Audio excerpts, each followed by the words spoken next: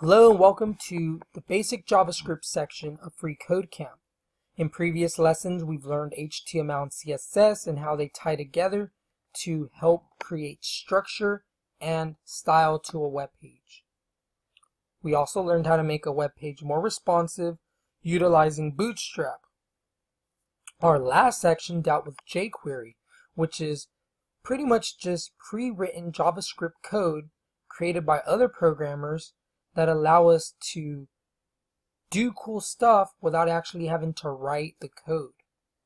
In this section, we're going to learn how and why jQuery works, and we're going to learn how to create our own functions that we can reuse as much as we want. So I hope you guys are as excited as I am because this is honestly my favorite part of Free Code Camp, and that is the programming aspect. It's not just awesome for computer related stuff. Programming is awesome just to force your mind to think of solutions to problems in different ways.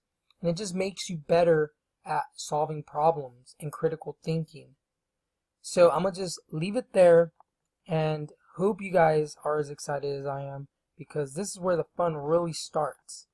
Even though that other stuff was really fun too, it's just programming is a whole different ballgame.